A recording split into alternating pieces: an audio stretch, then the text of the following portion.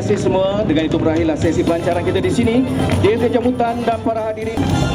Sebentar lagi bas akan tiba dan dipersilakan untuk menaiki bas ke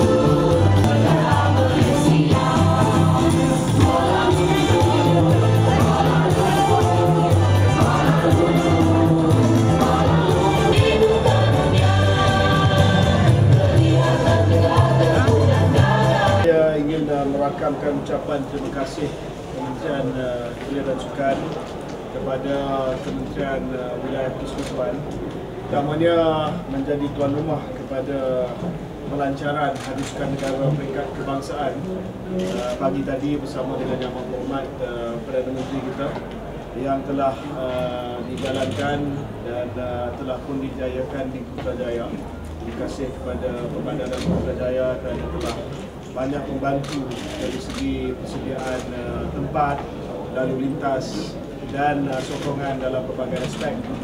Yang keduanya saya juga ucapkan terima kasih kepada Kementerian Persekutuan terutamanya Yang Mulia dan Kesihatan kerana sempena juga dengan Hari Sukan Negara pada hari ini kita telah uh, merasmikan kita telah merasmikan satu daripada lima. Yang pertama ya. Yang pertama iaitu uh, signage ataupun uh, tanda uh, KL 2017 sempena dengan Sukan C dan juga Sukan Para ASEAN yang akan berlangsung pada tahun depan.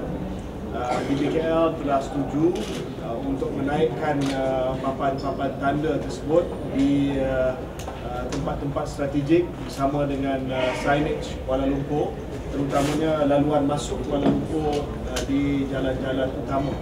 Dan uh, ini sudah pasti adalah uh, satu bersama yang sangat-sangat uh, uh, dihargai oleh Sekretariat Sukan C uh, kerana Kuala Lumpur akan menjadi tuan rumah kepada sebahagian besar daripada acara dan juga uh, sukan yang akan dipertandingkan di Sukan C dan uh, sudah pasti uh, usaha untuk kita mencantikkan bandar ini uh, haruslah dijalankan bersama.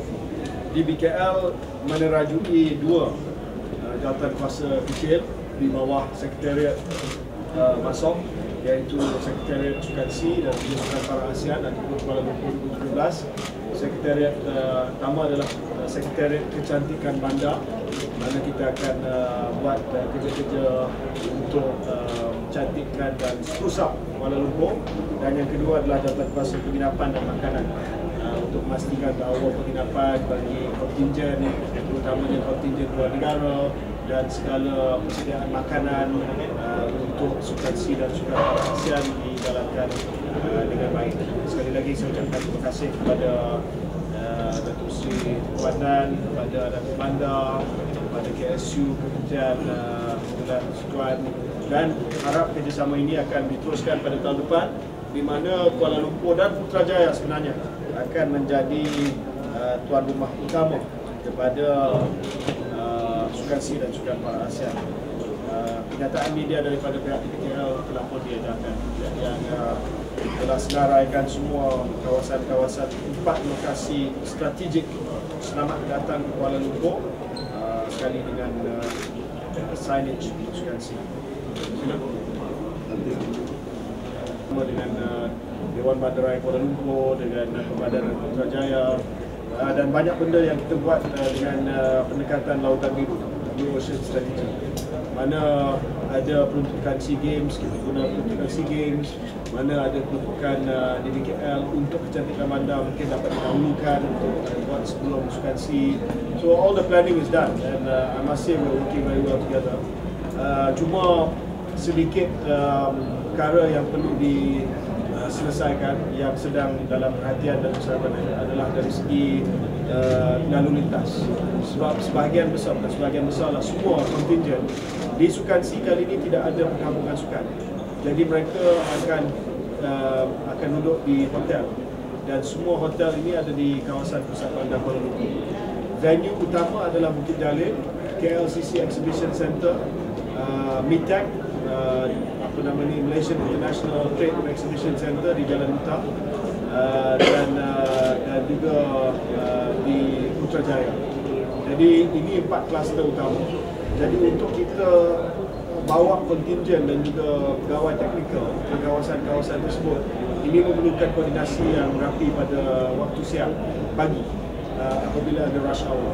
Sukan C ini dia tak kira sama ada hari kerja ataupun hujung minggu. Dia akan berlangsung pada setiap hari dalam tempoh masa Sukan C dan Sukan Para ASEAN. Yang penting atlet kena keluar dari hotel sampai ke venue uh, menepati masa. Kalau tidak, they will miss the schedule of the events. So itu yang menjadi kerisauan sikit. So we are studying the traffic flow lah untuk memastikan bahawa tidak ada mistake.